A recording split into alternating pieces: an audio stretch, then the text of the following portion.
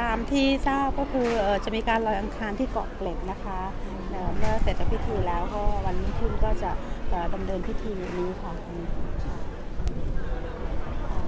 หลังจากนี้ค่ะทางญาติก็คือเหมือนเป็นสถานที่ที่พี่เขาชอบหรือว่ายังไงบ้างคะหรือว่าเป็นมีความคือตอนนี้เอ่อก็คือทำนอกจากทำตามพิธีแล้วเนี่ยตอนเนี้ยสิ่งที่เอ่อพวกน้องๆแล้วก็ผู้ที่ได้ร่วมงานเนี่ยก็เขียนเขียนคำเอ่อไว้อะไรแล้วก็ส่งแล้วก็ส่งสิ่งดีๆ ให้พี่เขาไปในที่ที่ต้องบอกให้ให้หลับสบายแล้วไปในเอ่อในภพภูมิที่ดี ก็อันนี้เป็นสิ่งที่พวกเราก็มีการเขียนกันทุกคนก็นำส่งไปด้วยค่ะแล้ววันนี้พี่หน่องยังใจหายอยู่ไหมค่ะเมื่อกี้ก็มันก็คือเราร่วมงานกันมานาน แล้วก็เป็นรุ่นน้องนิเทศด้วย แล้วก็ตั้งแต่ตั้งแต่ปี 39 ค่ะบทเขียนตั้งแต่บทพี่ขี้หนูกับหมูแฮม แล้วก็จากนั้นมาก็มีละครอีก8เรื่องนั่นในช่วงที่ไม่ได้ถ่ายทำก็จะเป็นงานด้านบทตลอดเลย ก็ต้องบอกว่าเติมเป็นคนที่สร้างสรรค์งาน แล้วก็งานวันนี้มาดูอย่างดวงยี่หวาเนี่ยก็หลายคนก็บอกว่าอยากให้กลับมารีรัน แล้วก็ได้เห็นถึงผลงาน แล้วก็งานที่พี่เติมทำก็ยังมีความยังมีความ ต้องบอกว่าเหมือนกับเป็นสิ่งที่ไม่ไม่ตกยุคตกสมัยอะคะทุกอย่างเนี่ยเป็นอะไรที่ยังยังดูได้และยังเป็นอะไรที่วันนี้คนดูสะพายเจ้าหลาย ๆ คนก็บอกว่าใจหายเพราะว่าผู้ที่ให้ความสุขให้ความสนุกกับพวกเราในวันนี้ก็ได้จากไปแล้ว แล้วก็วันพรุ่งนี้ก็เป็นวันเกิด พี่เติมด้วยเห็นผู้กำกับผู้กำกับหลายท่านบอกว่างานของพี่เติมมักจะแตกต่างจากคนอื่นและมีคจริวางมค่ะ กลมในเป็นยังไงบ้างจริงค่ะเพราะว่าเอออย่างเรื่องบริษัทบำบัดแคร์เนี่ยค่ะแอนบอกว่า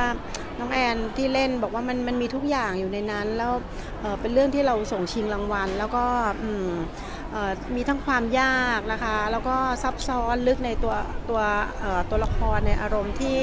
ที่ชื่อชื่อเรื่องเนี่ยที่ตั้งมาเนี่ยบริษัทบำบัดแคร์เนี่ยพี่เติมคิดลึกมาก ว่าทำไมมันคนเราเนี่ยจริง ๆ แล้วความแคร์หรือสิ่งใด ๆ ที่มันซ่อนไว้ในใจเนี่ยบางทีมัน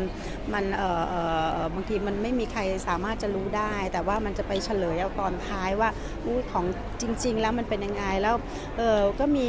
ก็บอกว่ามีทั้งความลึกลับซับซ้อนแล้วก็ซ่อนเงื่อนในจิตใจของคน แล้วกว่าจะรู้ว่าอ๋อคนแต่ละคนเป็นยังไงเนี่ยเพี่เติมเขียนบทได้ได้ดีมากในช่วงต้นก็คือแบบคาดไม่ถึงว่ามันจะเกิดอะไรขึ้นนะคะ แล้วก็ในเรื่องของ ความรักหรืออะไรเนี่ยตอนนั้นคุณอ้ำปฏิชาติเล่นกับคุณแอน ก็เป็นละครที่ที่ประสบความสำเร็จแล้วก็แล้วก็เเออได้เขาเรียกนะคะพี่แอนก็บอกว่าได้อะไรมากมายจากพี่เติม เพราะว่าในแต่ละเรื่องที่แต่ละผู้กำกับเนี่ยก็พี่แอนเล่นมาบอกโอ้โหพี่เติมได้ให้ในสิ่งที่รู้สึกว่าเเรื่องเนี้ยมีความซับซ้อนในจิตใจแล้วทำให้แอนน้องแอนสามารถถ่ายทอดออกมาได้ดีเยี่ยมเลยค่ะอันนี้คือ signature ของการทำงานของพี่เติมค่ะพี่เติมเป็นคนละเอียดแล้วก็อารมณ์ขันเยอะค่ะ จะเห็นว่าสะใภ้จ้าวเนี่ยบทก็บทก็เขียนสนุกอยู่แล้ว แต่ว่าเอ่อจะเอ่อมีมุกในตอนเล่นจริงอะค่ะอย่างพี่หมูหนีไพ่หรืออะไรเงี้ยโอ้โหก็แบบ ตอนถ่ายในกองก็หัวล้อกัน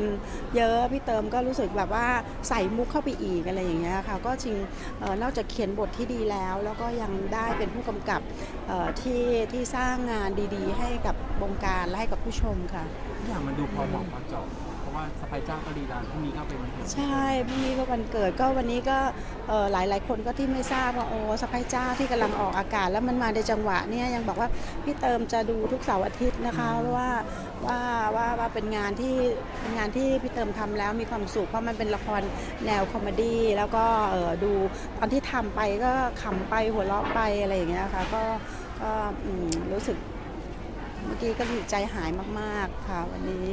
อืมเสียดายไหมคะที่เราก็สูญเสียคนดีคนเก่งๆในวงการบันเทิงไปจริงค่ะเพราะว่าพี่เติมเนี่ยต้องบอกว่าเก่งทั้งเบื้องหน้าและเบื้องหลังเบื้องหลังก็คือเป็นผู้ที่เขียนบท นะคะและเบื้องเออเบื้องหลังที่เป็นผู้กำกับการแสดงก็สร้างงานที่ให้พวกเราได้ชมกัน เพราะฉะนั้นเนี่ยเราก็ยังเเป็นพี่เป็นคนที่ควบคุมบทละครหลาย ๆ เรื่องของพี่น่องด้วยในเทวดาสาธุเนี่ยพี่เติมเขียนด้วยส่วนหนึ่ง แล้วก็ช่วยควบคุมบทด้วย เพราะฉะนั้นเนี่ย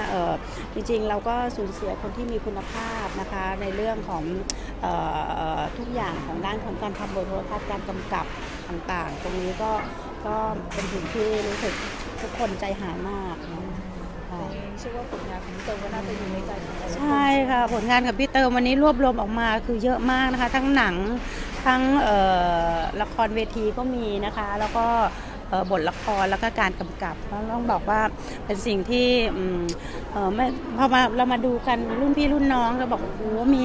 งานที่ออกมาเยอะมากเพราะว่ามีภาพยนตร์อย่าง พี่กินหนูหมูแฮมเนี่ยก็เป็นครั้งแรกที่เป็นภาพยนตร์ แล้วตอนมาเป็นละครพี่เติมก็เขียนบทให้ด้วย ตอนนั้นพี่คิงกำกับ ก็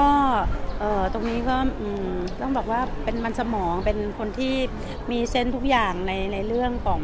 เอ่อคือต้องบอกพี่เติมรักละครมากและความสุขของพี่เติมก็คือ การสร้างละครให้กับผู้ชมได้มีความสุข แล้วทุกพี่เติมคิดตลอด แล้วก็บทต่างๆเนี่ยกว่าจะออกมาได้นะคะพี่เติมกันกองใช้เวลากลับไปทวนกลับมา มุกนี้จะเล่ายังไงอะไรอย่างเงี้ยค่ะก็ก็เราก็เป็นคนคุณภาพที่พวกเรารู้สึกสูญเสียค่ะ